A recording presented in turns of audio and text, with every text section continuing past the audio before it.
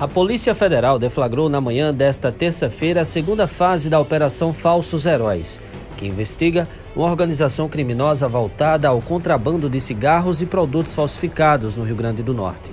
Um policial civil foi preso e outro afastado da função, segundo a corporação. Cerca de 70 policiais federais estão cumprindo 16 mandados de busca e apreensão e cinco mandados de prisão preventiva expedidos pela oitava vara da Justiça Federal do Rio Grande do Norte nos municípios de Apodi, Areia Branca, Grossos, Mossoró, Parnamirim, Natal e também no estado de São Paulo.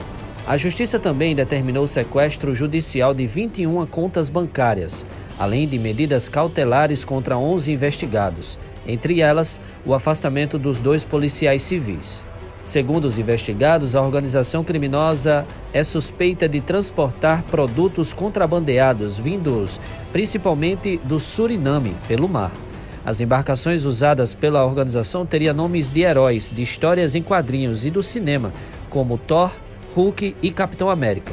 Por isso, o nome da operação Falsos Heróis.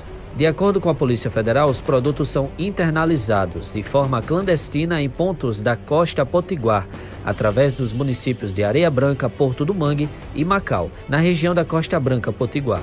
Depois, são distribuídos para outros estados brasileiros.